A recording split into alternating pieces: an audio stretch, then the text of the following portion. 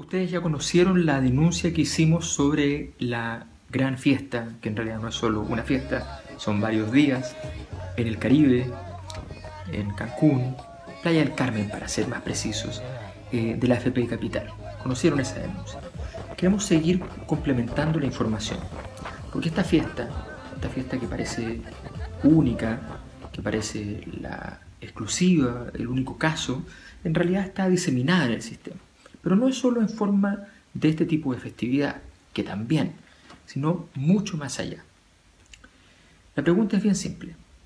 Sabiendo lo que reciben y lo que recibiremos los pensionados con el actual sistema, sabiendo la pobreza que se distribuye, ¿se han preguntado ustedes cuánto ganan los ejecutivos de las AFP? Bueno, hablemos de uno, ya lo conocemos, Eduardo Vildósola. Ustedes lo vieron disfrutando de esta fiesta, siendo el rey de esta fiesta, tomando bastante bien un whisky directamente a su boca por un compañero de trabajo, un whisky por el cual él no pagó, pagó con los gastos administrativos de la empresa, que son nuestras cotizaciones.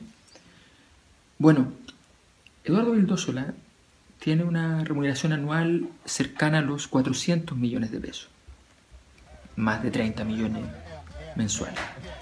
Ese es el salario. Ese salario lo distingue porque es particularmente eficiente en producir rentabilidad, porque su trabajo es extraordinario, porque es un gran funcionario que permite que su pensión sea excelente. En nuestra opinión, no. Eso no está regulado hoy día en Chile.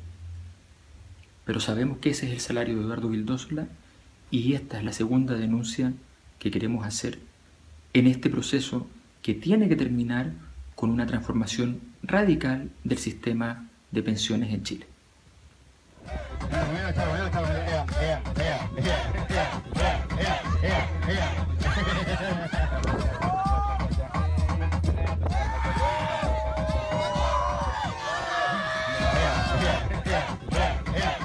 Yeah.